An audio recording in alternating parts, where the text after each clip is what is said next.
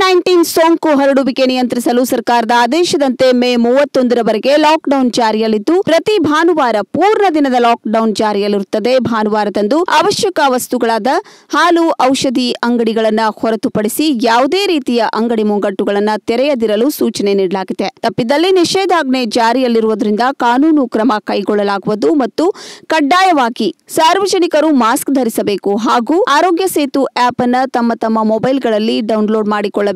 ಆ ಆರೋಗ್ಯ ಸೇತು ಅಪ್ಲಿಕೇಶನ್ ಅನ್ನ ಬಳಸಬೇಕೆಂದು ರಾಯಚೂರು ಜಿಲ್ಲೆ ಲಿಂಗಸೂಗೂರು ತಾಲೂಕಿನ ಮುದಗಲ್ ಪುರಸಭೆಯ ಮುಖ್ಯಾಧಿಕಾರಿ ನರಸಿಂಹಮೂರ್ತಿ ಮೂರ್ತಿಯವರು ಮಾಧ್ಯಮಗಳಿಗೆ ಮಾಹಿತಿ ನೀಡಿದ್ರು. ಈ ಸಂದರ್ಭದಲ್ಲಿ ಪುರಸಭೆ ಸಿಬ್ಬಂದಿಯವರು ಕೂಡ ಉಪಸ್ಥಿತರಿದ್ದರು. ಪಟ್ಟಣದಲ್ಲಿ ಪ್ರತಿ ಭಾನುವಾರದಂದು ಸಂಪೂರ್ಣ ಲಾಕ್ಡೌನ್ ಅಂದರೆ ನಿಷೇಧಾಜ್ಞೆ ಜಾರಿಯಲ್ಲಿರುವುದರಿಂದ ಅಗತ್ಯ ಒಂದು ಸಾಮಗ್ರಿಗಳ ಅಂಗಡಿಗಳನ್ನು ಹೊರತುಪಡಿಸಿ ಯಾವುದೇ ರೀತಿಯ ಅಂಗಡಿ ಮುಂಗಟ್ಟುಗಳನ್ನು ತೆರೆಯಬಾರದೆಂದು ವ್ಯಾಪಾರಸ್ಥರಿಗೆ ಮತ್ತು ಎಲ್ಲ ರೀತಿಯ ನಾಗರಿಕರಿಗೆ ಮತ್ತು ಅಂಗಡಿ ಮುಂಗಟ್ಟು ವ್ಯಾಪಾರಸ್ಥರಿಗೆ ಈ ಮೂಲಕ ತಿಳಿಯಪಡಿಸಿದೆ.